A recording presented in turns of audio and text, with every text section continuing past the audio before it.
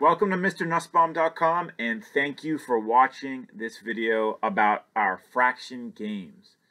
If you are teaching fractions and you're looking for fun yet meaningful fraction themed activities for your students, well you've definitely come to the right place. All of these games are free for all as always. And if the advertisements prove too distracting, you can always subscribe to MrN365.com, our ad-free subscription service that only costs $23.70 per year. And it is available once you subscribe to your entire class with unlimited usage. So our original fraction games are bound to get your students excited about and interested in fractions. And the purpose of this video is to quickly explain some of our fraction games.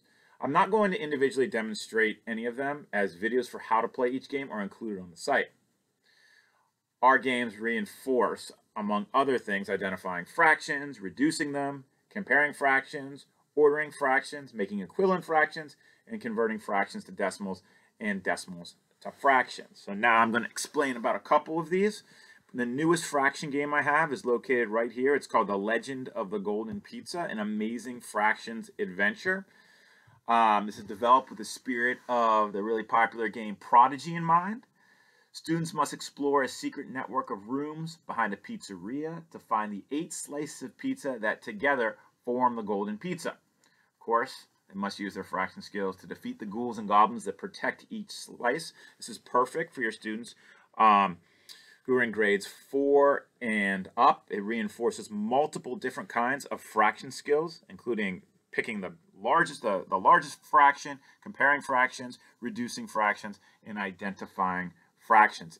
Um, and if you click on this, you'll find uh, not only the game itself, but an additional video exactly how to play this game and explaining about this game in more detail. Okay, moving along. Our second offering is Tony Fractions Pizza Shop, and this is one of the most popular games on the entire site. Here, students play the role of a pizza shop owner with really picky customers. Students must fulfill as many orders as possible in five minutes, which is tricky when you have a customer who orders their toppings in fractions.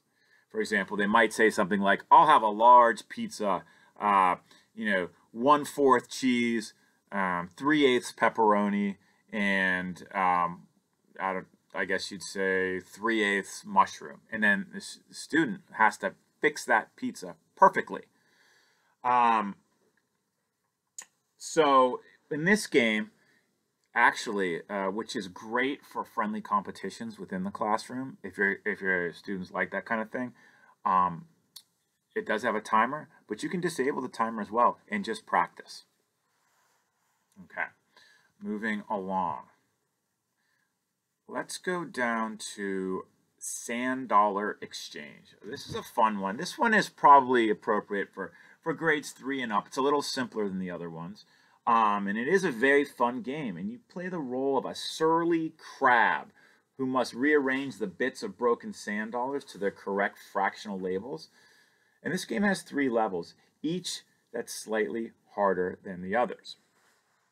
And so you can see there's lots of other fraction games. Death to Decimals is one of my favorites, and it's for a little bit of an older group. I'd say grades five and up. You play the role of a fraction superhero, and you're battling uh, decimals who are trying to destroy the entire concept of fractions.